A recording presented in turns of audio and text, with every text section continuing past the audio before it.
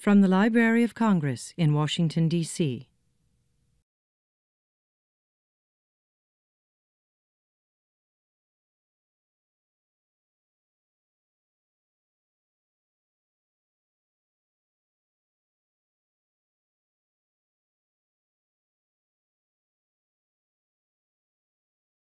Thanks everyone for coming out here today um, to the Library of Congress. My name is Rob Casper. I'm the head of the Poetry and Literature Center here. And I would like to welcome you to our uh, second Asian American Literature Today series. Uh, the first with uh, a fiction writer uh, featuring uh, Yiyun Li.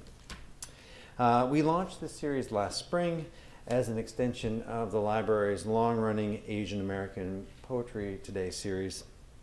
And we were thrilled to begin with Bangladeshi American poet Tarfia Faizullah.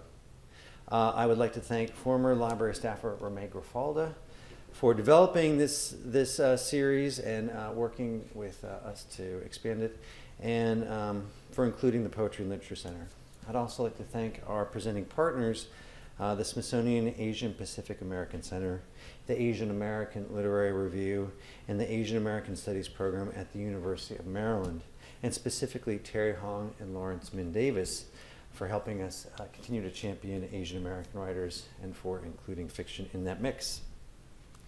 Finally, this event would not be possible without the behind-the-scenes support of the Library of Congress Asian American Association, a staff organization that sponsors events and activities rated, related to Asian Pacific American heritage in the library community. The association was founded in 1994 and is celebrating its 20th anniversary this year. It has helped develop and promote today's event as part of its cele ongoing celebration of Asian American writers. Uh, specifically, I would like to thank Wendy Maloney and Kelly Uzawa over there uh, for helping put this series together and connecting us to our presenting partners.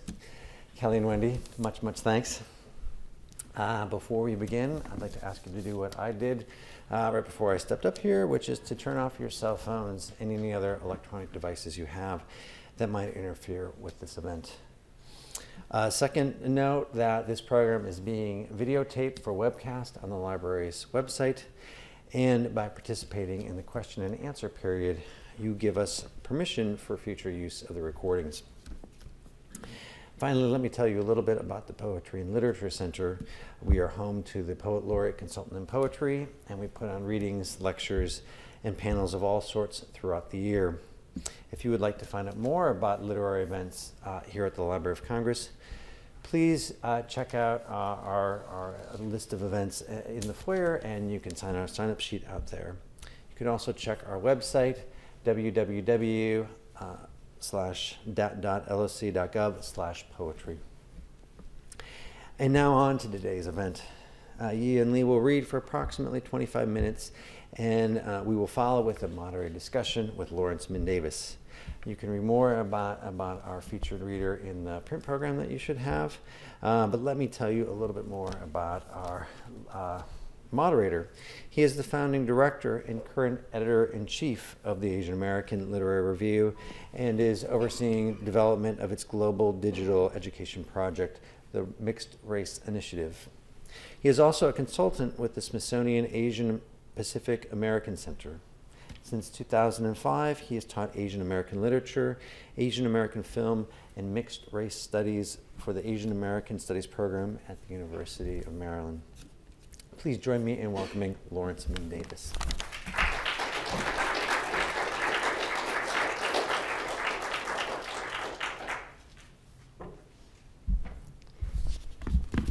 Hello, and thank you everybody for coming today. Thank you to Rob and to the Poetry and Literature Center.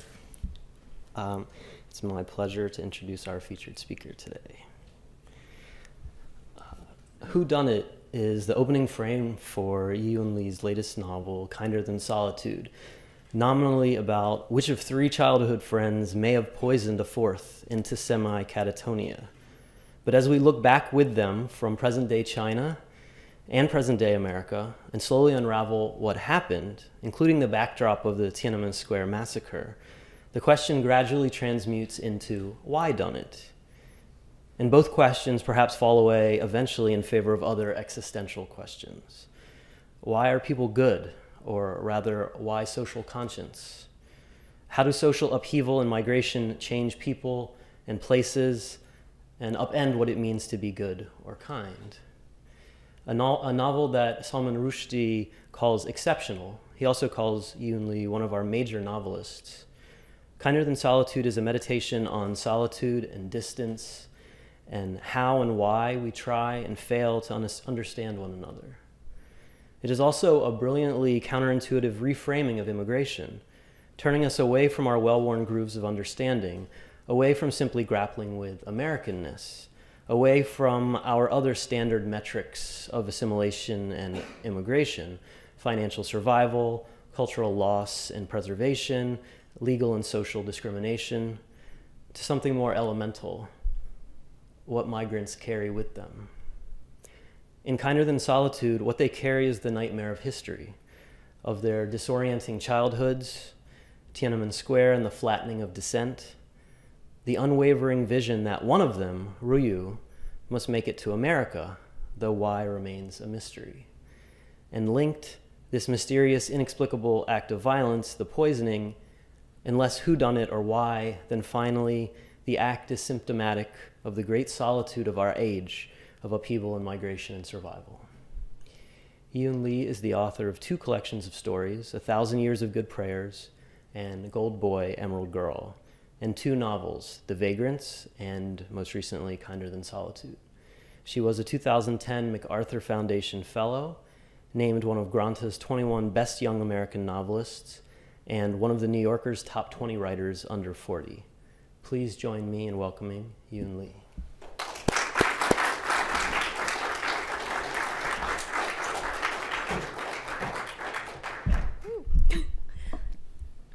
Good afternoon. And thank you, Rob, and thank you, Lawrence, for that beautiful introduction, and thank you for coming. And I think I'm going to read you two short excerpts. Is it too tall? Okay, that's much better. Thank you. I think I'm going to read you two short excerpts from this novel, Kinder Than Solitude. And both excerpts will be taken from present day. As Lawrence explained, a poisoning happened 20, 30, 21 years ago. And so I'm going to read the opening chapter. The woman who was poisoned 21 years ago in 1989, she died in the opening page. And a man whose name is Boyan, who you're going to hear about, he took care of her for 21 years until her death. And on this day, he cremated her and he sent his ash, he sent her ash to her mother, and he went home to his own mother's house for dinner. And I, as I always say, we always go home to dinner. So this is the dinner. The topics at dinner were his sister's American born twins, the real estate prices in Beijing and in a coastal city where his parents were pondering purchasing a waterfront condo, and the inefficiency of their new housekeeper. Only when his mother had cleaned away the dishes did she ask, as though grasping a passing thought, if Boyan had heard of Shaoai's death. By then, his father had gone into his study. So I heard, Boyan said. His mother returned from the kitchen with two cups of tea and passed one to him. He cringed at her nudging the conversation beyond the comfortable repertoire of their Euro topics. He showed up whenever she summoned him. The best way to stay distanced, he believed, was to satisfy her every need. What do you think then? His mother said. Think of what? The whole thing, she said. One must acknowledge the waste, no?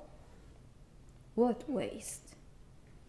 Shaoai's life, obviously, his mother said, adjusting a single calla lily in a crystal vase on the dinner table. But even if you take her out of the equation, others' lives have been affected. What others? Boyan wanted to say to his mother would be worth a moment of her thought. The chemical found in Shaoai's blood had been taken from his mother's laboratory. Whether it had been an attempted murder, an, un- an unsuccessful suicide, or a freak accident had never been determined. His family did not talk about the case, but Boyan knew that his mother had never let go of her grudge. Do you mean your career went to waste? Boyan asked. After the incident, the university had taken disciplinary action against his mother for, his, for her mismanagement of chemicals. It would have been an unpleasant incident, a small glitch in her otherwise stellar academic career, but she insisted on disputing the charge. Every laboratory in the department was run according to outdated regulations, with chemicals available to all graduate students. It was a misfortune that a life had been destroyed, she admitted.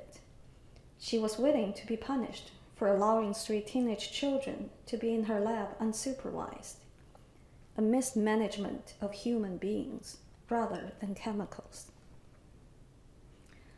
If you want to look at my career, sure, that's gone to waste for no reason. But things have turned out okay for you, Boyan said. Better you have to admit. His mother had left the university and joined a pharmaceutical company, later purchased by an American company. With her flawless English, which she had learned at a Catholic school, and several patents to her name, she earned an income three times what she would have made as a professor. But did I say I was talking about myself? She said.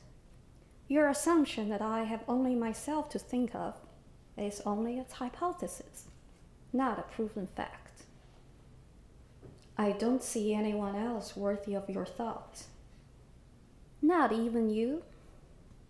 What do you mean? You don't feel your life has been affected by Shaoai's poisoning? What answer did she want to hear, Boyan thought. You get used to something like that, he said. On second thought, he added, No, I wouldn't say her case has affected me in any substantial way. Who wanted her to die? Excuse me? You heard me right. Who wanted to kill her back then? She didn't seem like someone who'd commit suicide, though certainly one of your little girlfriends, I can't remember which one, hinted at that. In rehearsing scenarios of Shaoai's death, Boyan had never included his mother. But when does any parent hold a position in a child's fantasy? Still, that his mother had paid attention and that he had underestimated her awareness of the case annoyed him. I'm sure you understand that if, in all honesty, you tell me that you were the one who poisoned her, I wouldn't say or do anything, she said. This conversation is purely for my curiosity. I didn't poison her, Boyan said. I'm sorry. Why sorry? You'd be much happier to have an answer. I would be happier too if I could tell you for sure who poisoned her. Well, then, there are only two other ops there are only two other possibilities. So, do you think it was Moran or Ru He had asked himself the question over the years. He looked at his mother with a smile, careful that his face not betray him. What do you think? I didn't know either of them. There was no reason for you to know them, Boyan said, or for that matter, anyone. His mother ignored his sarcasm. I never really met Rui, she said. Moran, of course, I saw around, but I don't remember her well. I don't recall her being brilliant. Am I right? I doubt there's anyone brilliant enough for you. Your sister is, Boyan's mother said, but don't distract me. You used to know them both well, so you must have an idea. I don't, Boyan said. His mother looked at him, rearranging he imagined his and the other people's positions in her head, as she would do with chemical molecules. He remembered taking his parents to America to celebrate their 40th wedding anniversary. At the airport in San Francisco, they had seen an exhibition of duck decoys. Despite the 12 hour flight, his mother had studied each of the wooden ducks. The colors and shapes of the different decoy products fascinated her. And she read the old 1920s posters advertising 20 cent duck decoys, using her knowledge of inflation rates over the years to calculate how much each duck would cost today. Always so curious, Boyan thought, so impersonally curious. Did you ever ask them, she said now, whether one of them tried to murder someone? Boyan said, No. Why not? I think you are overestimating your son's ability. But do you not want to know? Why not ask them? When? Back then or now? Why not ask now? They may be honest with you now that Shaoai is dead. For one thing, Boyan thought, neither Moran nor Rui would answer his email. If you are not overestimating my ability, you're certainly overestimating people's desire for honesty, he said. But has it occurred to you it might only have been an accident? Would that be too dull for you? His mother looked into her tea. If I put too many tea leaves in the teapot, that could be considered an accident, a mistake. No one puts poison into another person's teacup by accident. Or do you mean that Moran or Rui was the real target and poor Shaoai happened to take the wrong tea? To think, it could have been you. My drinking the poison by accident? No, what I'm asking is, what do you think of the possibility of someone trying to murder you? The single calla lily, his mother's favorite flower, looked menacing, unreal with its flawless curve. She blew lightly over her tea, not looking at him, though he knew that was part of her scrutiny. Was she distorting the past to humor herself? Or was she revealing her doubt? Or was the line between distorting and revealing so fine that one could not happen without the other? For all he knew, he had lived in her selective unawareness. But perhaps this was only an illusion. One ought not to have the last word about one's own mother. He admitted that the thought had never occurred to him. It's a possibility, you know, she said. But why would but why would anyone have wanted to kill me? Why would anyone want to kill anyone? she said. And right away Boyan knew that he had spoken too carelessly. If someone steals poison from a lab, that person intends to do harm to another person or to herself. For all I know, the harm was already done the moment the chemical was stolen. And I'm not asking you why. Why anyone does anything is beyond my understanding or interest. All I would like to know is who was trying to kill who. But unfortunately, you don't have an answer. And sadly, you don't seem to share my curiosity. So that's one dinner done. It's very difficult dinner. and I'm going to read the second dinner, which is not a dinner, it's a book club in California. So it's again present day. So this is another character, Ru Yu, who was one of the three childhood friends. And on this day, she got an email saying Shao Xiaoai died. And she was going to, to a friend's house. Celia's message on Rui's voicemail sounded panic, as though Celia had been caught in a tornado. But Rui found little surprise in the emergency. That evening was Celia's turn to host ladies' night. These monthly get togethers had started as a book club, but as more books went unfinished and undiscussed, other activities had been introduced wine tasting, tea tasting, a question and answer session with the president of local real estate agency. When did market turn downward? A holiday workshop on homemade soaps and candles. Rui wondered if the florist had misinterpreted the color theme Celia had requested, or if the caterer, a new one she was trying out upon a friend's recommendation, had failed to meet her ex- expectation. In either case, Rui's presence was urgently needed. Could she please come early? Celia had said in the voicemail. Pretty please? Not, of course, to right any wrong, but to bear witness to Celia's personal tornado. Being let down was Celia's fate. Life never failed to bestow upon her pain and disappointment she had to suffer on everyone's behalf, so that the world could go on being a good place, free from real calamities. Celia's martyrdom, in most people's less than kind opinion, amounted to nothing but a dramatic self centeredness. But Ru one of the very few who took Celia's sacrifice seriously, understood the source of her suffering.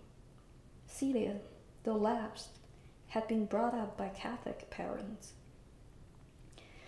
Edwin and the boys were out to dinner and to a warrior game, Celia told Rui when she arrived at the moorlands.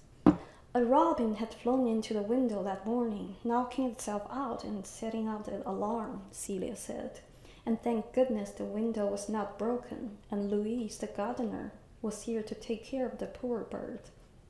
The caterer was 17 minutes late, so wasn't it wise of her to have changed the delivery time to half an hour earlier? In the middle of recounting an exchange between the delivery man and herself, Celia stopped abruptly. Ruby, she said. Ruby.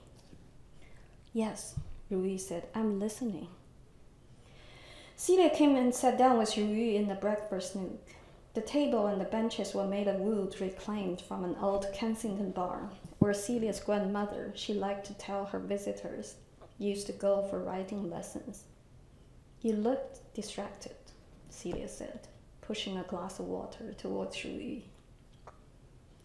The woman Celia thought of as Ruby should have unwavering attention as an audience.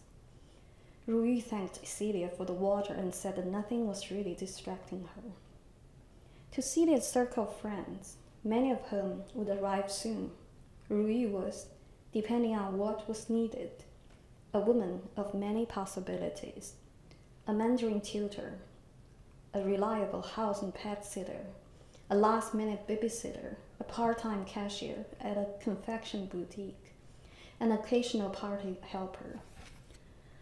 But her loyalty, first and foremost, belonged to Celia, for it was her, it, for it was she who had found Rui these many opportunities.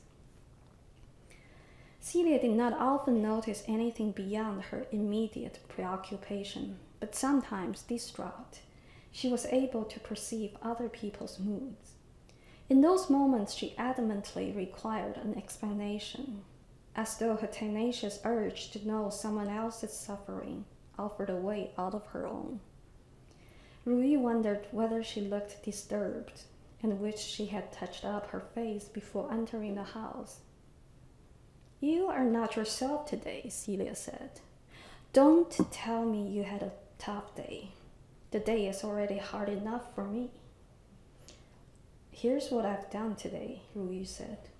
I was in the shop in the morning. I stopped at the dry cleaners. I fed Karen's cat. I took a walk. Now tell me how hard my day could be.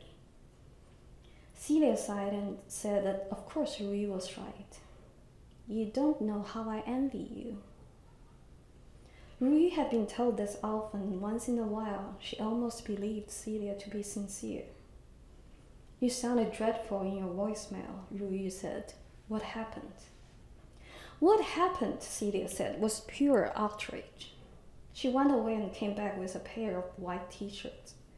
Earlier that afternoon, she had attended a meeting for the fundraising of a major art festival in San Francisco.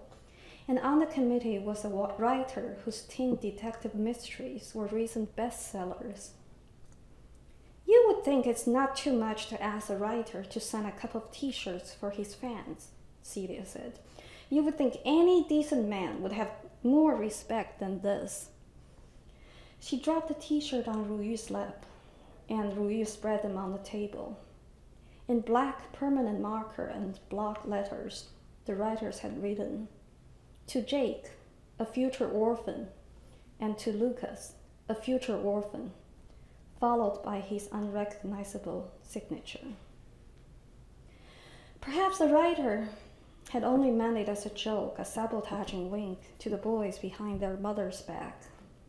Or else it had been more than a joke, and he had felt called to reveal an absolute truth that a child did not learn from his parents. Unacceptable, Ruby said, and folded up the shirts. Now, what do I do with them? I promised the boys I would get them his signature. How do I explain to them that this person they admire is a jerk? An asshole, really, Celia said, and gulped down some wine as if to rinse away the bad taste.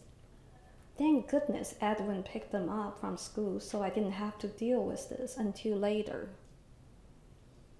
Poor, gullible Celia, believing, like most people, in a moment called later. Safely removed, later promises possibilities, changes, solutions, rewards, happiness, all too distant to be real, yet real enough to offer relief from the claustrophobic cocoon of now. If only Celia had the strength to be both kind enough and harsh enough with herself to stop talking about later, that heartless annihilator of now. Exactly what, Yu said, will you say to them later? That I forgot? Celia said uncertainly. What else can I say? Better for your children to be annoyed with you. Better for your husband to be disappointed by you than to break anyone's heart. I'll tell you, Ruby. It's smart of you not to have children, smarter of you to not to want another husband. Stay where you are. Sometimes I think about how simple and beautiful your life is, and that, I say to myself, is how a woman should treat herself. Had Celia been a different person, Rui might have found her words distasteful, malicious even. But Celia, being Celia, and never doubting the truth of her own words, was as close to a friend as Rui would admit into her life. She unfolded the shirts and studied the handwriting and asked Celia if she had another pair of t shirts. Why? Celia said. And Rui said that they might as well fix the problem themselves. You don't mean it, Celia said, and Rui replied that indeed she did. What's wrong with borrowing the writer's name and making two boys happy? Celia hesitantly offered another set of t shirts and Rui asked Celia what messages she wanted her children to wear to school. Are you sure this is the right thing to do? I don't want my children to think I lied to them. The writer, Rui wanted to remind Celia, had not lied. I'm not the one, I'm the one lying here, she said. Look away. What if the other kids at school realize that the signatures are fake? Is it even legal to do this? There are worse crimes, Rui said. Going to say, I'm going to stop here. Thank you.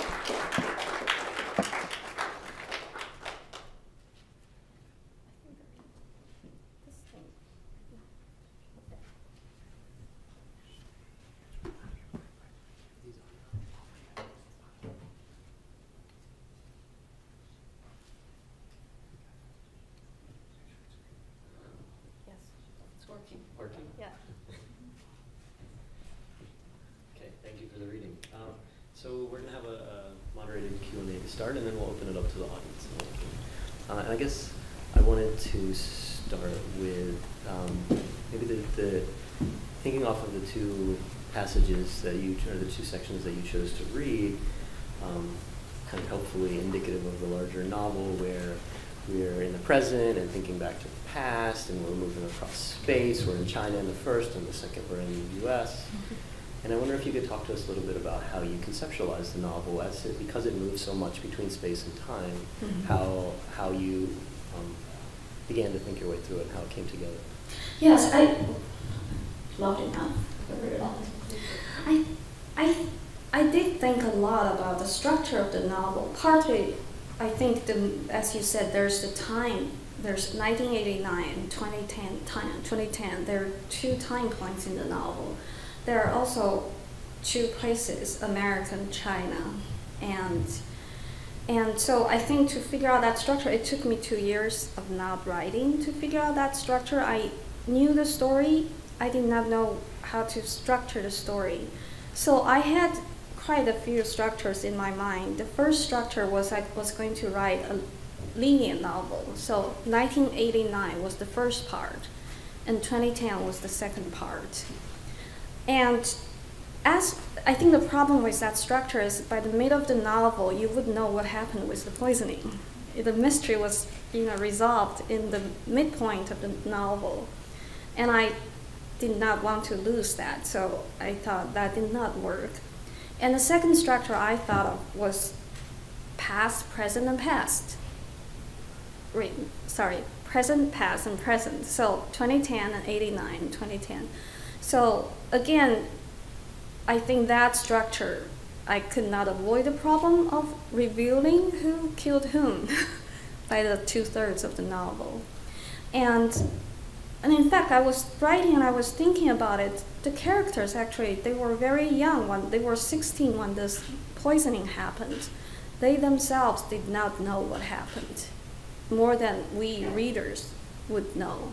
So I think the structure would work the best if the readers and the characters find out what happened on the same page. And for that, I decided to do the alternating past, present, and each chapter, you know, going past 89 and 2010. So towards the end of the novel, I think at least one of the characters found out what happened. And that was when we also found out what happened. So along those same lines, um, I'm thinking starting off in the present and then moving back and forth. Another thing that gets hidden besides the murder is uh, is Tiananmen Square, and not so much the massacre, but the aftermath and how, especially the young people, are thinking about it in their families.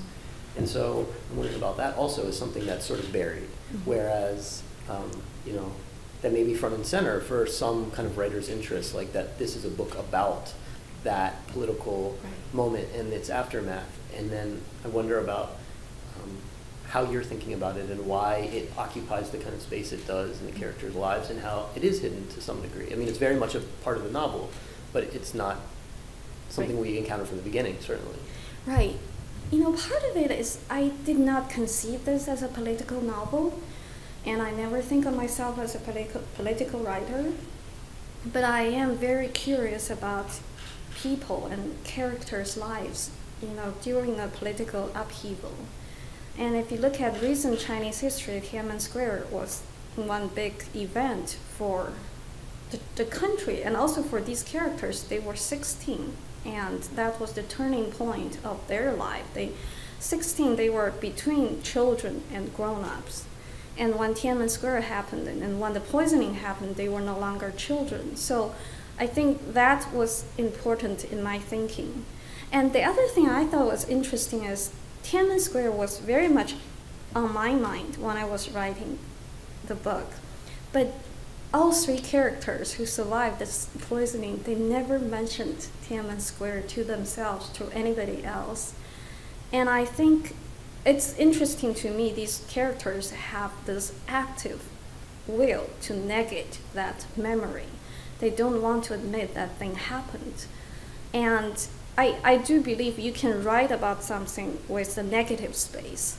And so I think Tiananmen Square, the whole political history is the negative space of the novel. And the novel doesn't have to focus on that. But I think they are not talking about it. It's their way to talk about it. Mm-hmm. There's uh, the, the idea of negative space brings to mind another aspect. Which, so in the second portion you read, Ruyu and Celia are interacting, and, and Celia plays a role later on in the novel, and there's like this. This isn't like a major spoiler, like who killed who, who poisoned who, but like there's this portion later where Celia starts imagining how Ruyu got to the U.S. and like comes up with these kind of wild immigration scenarios, as opposed to like married someone and got a green card and came over, or like came over to work or came over to study. It's like is like the mistress of a super powerful person and has been stashed here and like comes up like and reject and is like pushes against mm-hmm. Ruyu's attempts to be like, well, I might be a little bit you know less exotic than that, and so that is like on this kind of sort of flare up of Americanness. Like Celia is is is the in the present tense in America and is like this is the kind of American interaction, but in a novel that is very much about immigration in some ways. There is very little, as I mentioned in the introduction, there's very little of the kind of like Ruyu or more on adopt, adapting to the U.S. or mm-hmm. struggling in the U.S. as immigrants, or su- even succeeding. It, it, like it's not along those terms exactly. Mm-hmm. And so I'm going to say when you said negative space, there's this like America for a book that's set largely in the U.S.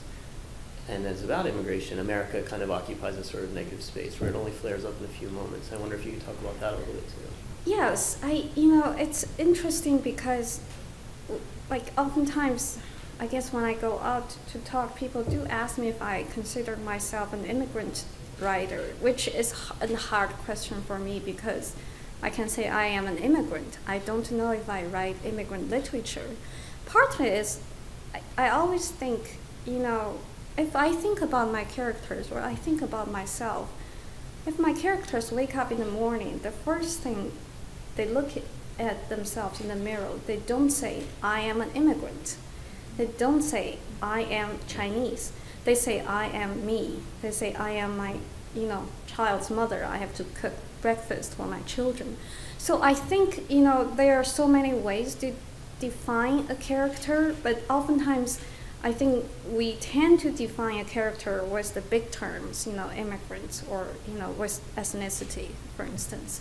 But I like to def- I like my characters and I also like myself to define the people with their immediate connections to other people, so the intimate connections to people, which is interesting because Celia does not allow any intimacy in this country.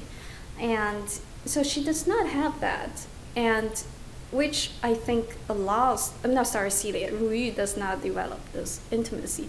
So which allows Celia to imagine all these things, you know, to fill in this blank space for this one character. I don't know if I answered that question. America. yeah, yeah, yeah. No, yeah. it does. I mean, I think Celia occupies this really interesting yeah. kind of like wanting to do the kind of things we were just talking about, like wanting a little bit easier answers sometimes. Yes, and Celia is the. I mean, someone asked me if I was making fun of American, and I said no. Actually, Celia is my is the most favorite character of mine because she mm-hmm. actually is she really wants to do certain things and she's so curious about this outsider and she even asked Ru, are you a North Korean spy?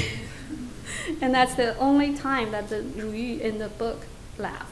Right. Yes, it's the only time. She never smiles, she never laughs, but it's the only time she laughed. And in some ways, Celia is like the, the, the, the character with the most empathetic energies in certain ways, she and Edwin. Whereas we go through much of the book, and there's these moments where there's many seeming failures of empathy, where we have characters not responding as kindly or as empathetically as they might, and sort of like with the mother in the first scene, with like yes. wondering about Shaoai's um, death and her poisoning, and like showing very kind of little concern for her kind of humanity or, or her sons even, and like. Uh, so I wonder about that, um, this this kind of exploration of where sympathies are turned off. In the case of Ruyu in particular, but in the other characters too. This maybe solitude is the way you're thinking about it. It's imposed yeah. solitude. You know, I, I think like two folds. I think in Ruyu's case, her upbringing, she was brought up by, by two grand aunts who call, she called them grand aunts. She was really an orphan adopted by these you know two old women and they called themselves Catholic. They didn't they didn't even understand Catholicism. They made up this whole religion by themselves and and brought up this child to fulfill that religion. It was a very strange upbringing and and in a way I think Celia knew that everything was taken away from her the moment she was orphaned.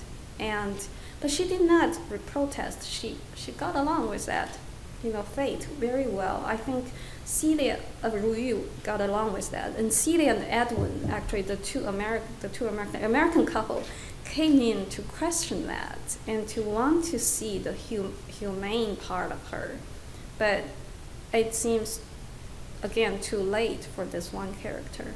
But if you look at the book, I think it's it's interesting because it's you know it's about a poisoning. I'm always curious about people who use poison. You know, it's a very intimate crime, and it's it's it's it's a cold-hearted crime. It's intimate too, and you have to do all these planning. But in the end, I think Shaoai, who was poisoned 21 years and lived as a vegetable, and she was the least poisoned character in the novel. And all three children, for 21 years, they have been poisoned by time. And so, in the end, I think their lives have been poisoned by time, and time becomes the biggest poison in the novel. And it's very hard for them to find an antidote to that poison. I, I like the idea that is a as an intimate crime. Mean, the other kind of seems like dominant current is like poisoning as a gendered crime. Yes. Um, it's very much as like uh, non-masculine or something. Yes. I like I'm thinking of like Game of Thrones. Like poison and poison is like the coward's method of Oh, killing really? somebody or something. I didn't know Um, that, but I did research on poisoning. It was very interesting. A lot of women use poison, you know, as you said, it's more than men. And also, I mean, women cook. The food always, you know, poison goes to food, and and it's it's interesting. I, I think, and also poisoning is really. I think any murder is, is a crime with a plot, and poisoning is, is a is a is a murder with the best plot. I would say. And it, it seems in keeping with like some of your interests across the novel in, explore, in exploring gender and gender roles and the degree to which the characters kind of push against them and reject them at some times, and other times are kind of embrace certain gender roles.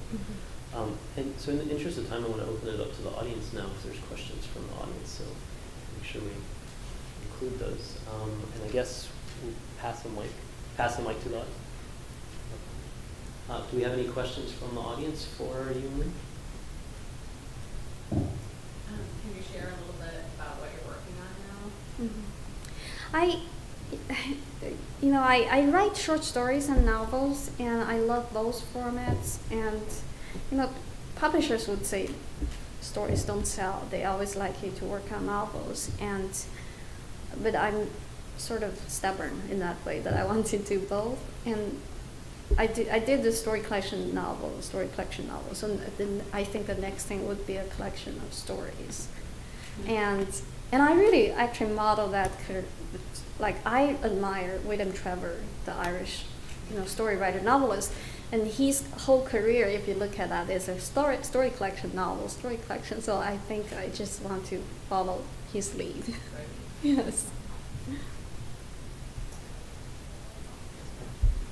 Um, so I was wondering um, if you ever write in uh, Chinese and if there is, um, why did you decide to write in English? Right. So the question is uh, if I ever write in Chinese and or why do I write in English?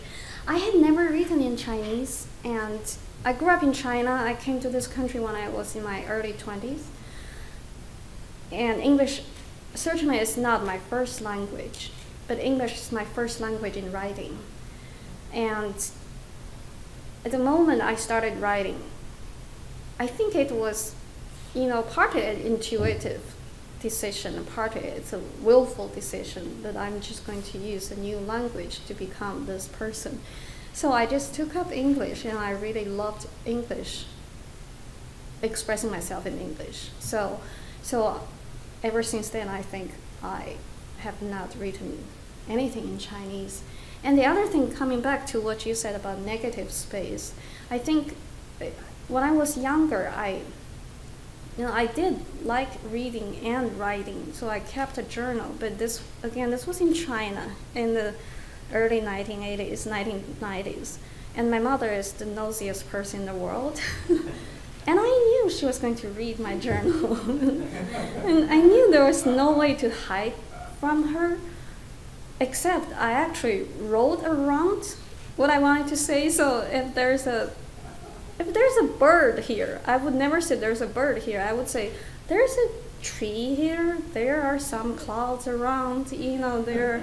So it's a cold. It's a coding. So it's again, it's written. It's written by negative space. Whatever I don't say is what I mean to say, which is very convenient when you take when you say you know you're keeping a journal from your mother. But it's not a good habit when you write fiction. and I and I think for that reason I actually think it's impossible for me to write in Chinese. I still have that habit if I do even speak in Chinese to my parents. I go I go into that automatic model of speaking in negative space.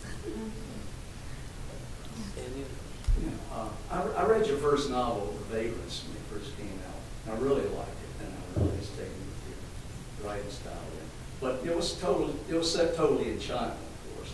And but now I see this book is written with a lot of Americans, and you've been here now for 20 years, mm -hmm. I mm-hmm. guess.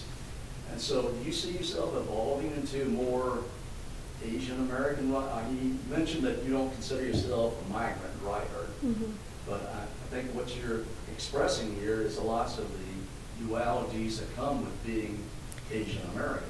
You're, you know, you're right. kind of stuck in two different cultures. So do you see yourself evolving into doing more of that type writing where you're going to be talking about the very variables about being Chinese and, and American? Yes, my involvement. That's a very good question. I think, yeah, I, the vagrants partly said completely in China was 1978. Nobody could leave that town. Everybody was trapped. And to me, I think today's world is interesting. Is the world actually is becoming smaller. You know, you get onto the airplane tomorrow, you'll be in Beijing, or you, you know, tomorrow you'll be in Dubai, and everybody is moving around, and people are moving around much more than before. The world is coming together a little more, and there are more clashes, and so I think I have lived in this country for probably, yeah, nearly 20 years, 18 years. And one thing I noticed that I actually, I wouldn't say I have the experience of being a Chinese American or Asian American because I still have that, you know, mindset that I come from elsewhere. But because I'm raising children in this country, I actually I am starting to understand what it means to be you know, Chinese American or or Asian American growing up from you know in this society. So I feel that I start to understand America, and through my children, you know, I'm growing up with them, and I learn a lot from their experience. Uh, how do you feel China is depicted in contemporary novels that are available in English? American readers.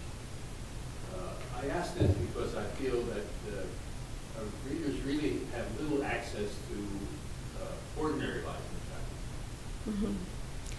How do I feel about it? Do you mean the novels translated or like novels written uh, by? Generally, novels written by uh, people with Chinese ancestry. right, right. I I would say, you know, if I if you look at Ha Jin's work, or if you look at my work and a few other writers, we do write about small people. I, I like to write about common people, and you know, there's no, you know, empress in my novel, for instance. I think they are oftentimes just people who are struggling in in the society. And is it a is it a you know a picture that like portrays China objectively. I think there's it's always everybody's interpretation. So I went to give a talk a few years ago. It was in 20, 2008, and and in Virginia, and there was this woman who came to me. She was a very young woman from China, and she said, "She said I really like your stories, except you know, I don't like that you're not presenting China as beautifully as I want you to do. Why don't you write about the 2008 Olympic?" And I, I, I explained to her, I said, you know, that is exactly one aspect of China, and someone would write about that, but I cannot. That's not my China, and I cannot portray it. I cannot.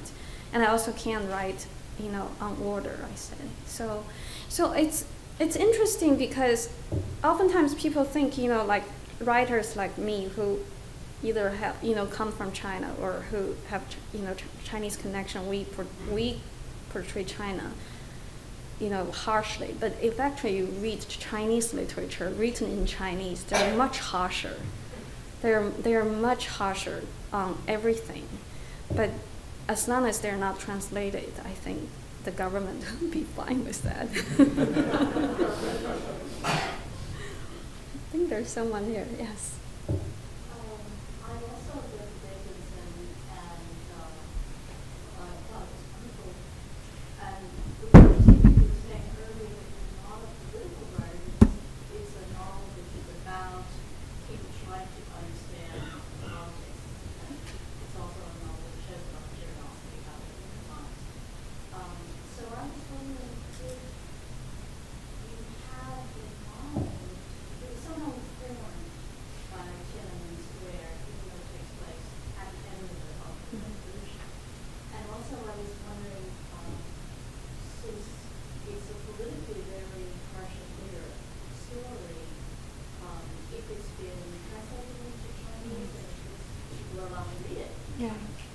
So the vagrants took place in 1978 and started with one ex execution of one political prisoner and ended with another execution of another woman who was a political prisoner. And in the middle, there was a protest against the execution. It was a very political background. The reason I wrote that novel was actually I was very curious about the whole community, and and the community was not political. The community was, they, they lived their lives as, you know, everybody, as everywhere the community lived their lives. But when this execution was dropped in the middle of this community, people had to react. And, and their, their reactions were very, very complex than just, you know, black and white, evil or good. For instance, there was this doctor who did the surgery on the woman before her execution.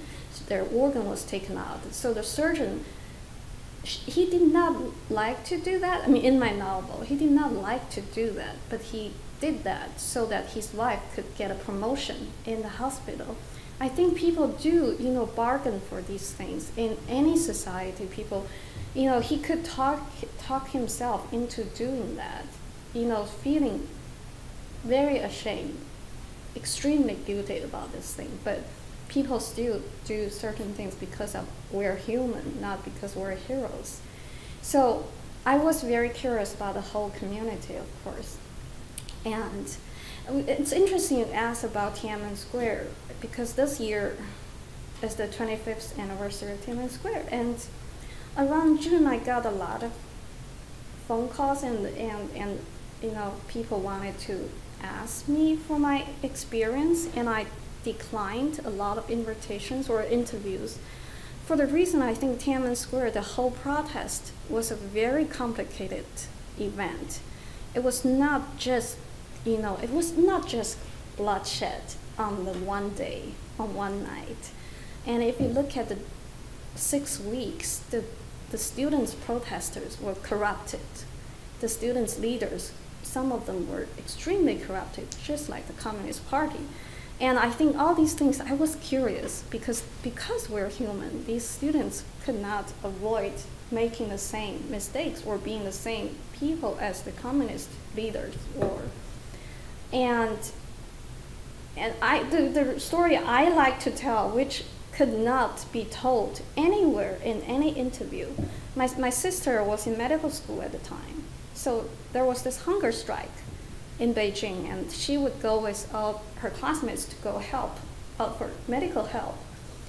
And we were not well off a family, and and and my father was a very well, my father was a hoarder, so anything coming into the house, he would never get rid of it. So, so my sister got a new, brand new sun hat for me from the square, which was donated to the students protesters. And my sister knew that I liked the sun hat.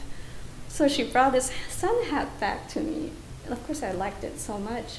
And the hat, I don't know if anyone is from Beijing, it's in the shape of it's in the shape of what Jane Eyre wore back in the Victorian time. So the hat in Beijing was called Jane Eyre's hat.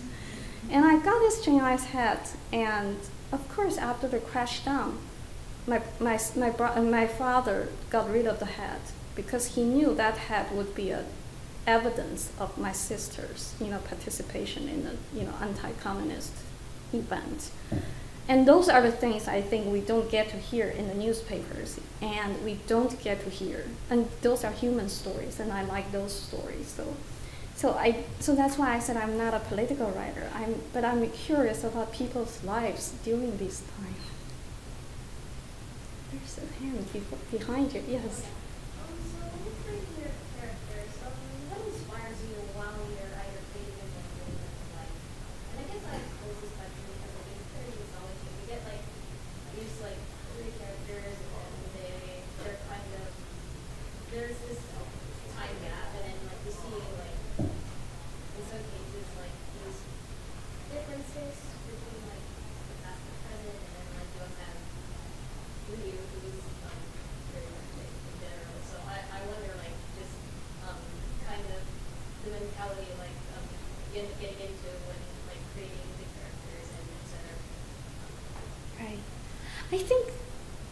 Like to say I, my characters. I mean, I write the characters I don't understand. So oftentimes it's people I don't understand, and I want to understand them, and I am baffled by them. And so, as you said, all the characters in Kinder Than Solitude, they all start from my not understanding them. And the whole writing process is for me to find a way to understand them better. And do I understand them like completely at the end of the novel? Actually, I don't either. And I think that's that's the I think that's why I write fiction and I read fiction. Is actually we never get to know a person hundred percent, and writing fiction, reading fiction, is really a way to get closer to that. But you're still not there. You're never going to be there. I think that's the perfect place for us to end. Thanks so much for coming out. Uh, there are books for sale in the back. Uh, I think we have uh, both your new novel and your latest short story collection, so please uh, buy Yiyun Li's books. Uh, she'll sign them here. Uh, thanks to Yian Lee and to Lawrence Minh Davis. we hope to see you again sometime soon. Take care.